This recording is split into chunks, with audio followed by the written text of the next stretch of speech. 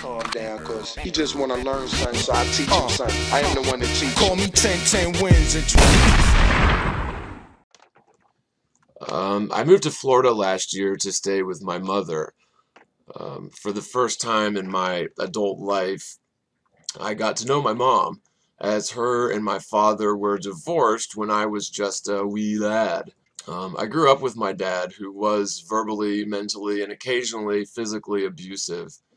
Um, when I was released from jail this past January, uh, my mom told me that she didn't want to associate with me anymore because there was just too much drama. Um, this hit me pretty hard. You know, it broke my heart really because uh, I was really just getting to know my mom for the first time in my life.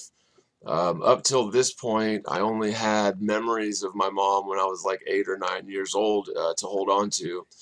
Um, since her husband, uh, my stepdad Steve, committed suicide just a couple years ago, um, she too has been going through her own uh, emotional turmoil, which I know has been very difficult for her.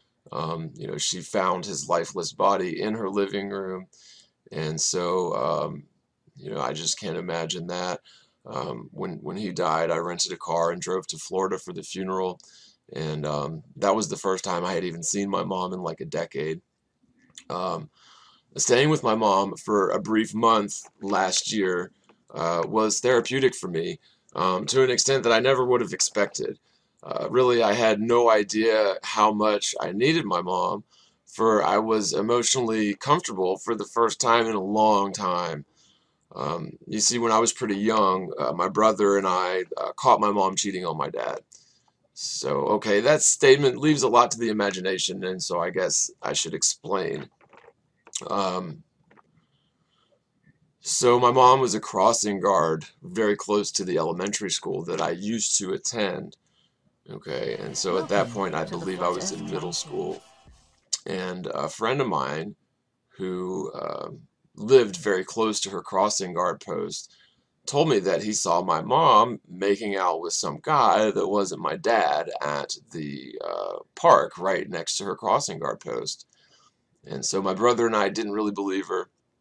And so um, we went and spied on her one day at her crossing guard post. And lo and behold, she was in fact with a guy that wasn't my dad. And so um, my brother and I told my dad what was going on, and very quickly, uh, my mother was out of our lives for good. And at that point in time, I was really young. I was just a kid. I think I was like 10, um, something like that.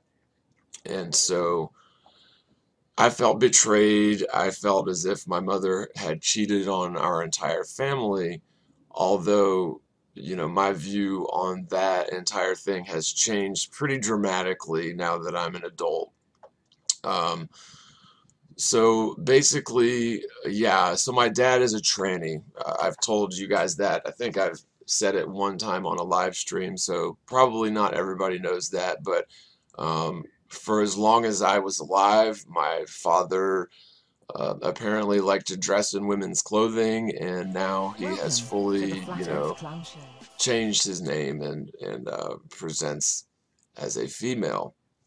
And so, like with that in mind, you know, honestly, I can't say that I agree with my mom's uh, decisions, but I also can't say that I blame her for going outside of the home for, you know, emotional fulfillment, I guess you should say. So, you know, when when uh, when my dad was a young teenager, he was given an, actually an overdose of four corner window pane acid, which really messed him up from that point forward. I mean, dude is certifiable.